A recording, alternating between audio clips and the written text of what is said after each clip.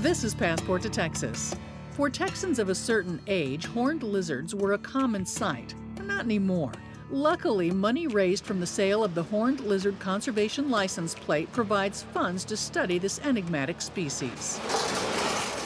We have funded conservation projects on Texas horned lizards. One of those is with the Fort Worth Zoo. Michael Warriner is non game program supervisor with Texas Parks and Wildlife. Fort Worth Zoo has an active captive breeding program, and they're working at reintroducing Texas horned lizards back to areas where they used to occur. And we've supported that effort in terms of supplies, personnel, and helping them facilitate that reintroduction of horned lizards. Warriner says monies from a conservation plate with the horned lizard also fund a project by Texas Tech that studies horned lizard habitat use. So we can understand what sorts of habitat they prefer and how can we manage habitat to better support their populations. Development has reduced historic horned lizard habitat. There may be other factors preventing them from reestablishing, but you know, we try and determine what's the best quality habitat and reintroduce them to those areas. Find information about the horned lizard and other conservation plates at conservationplate.org.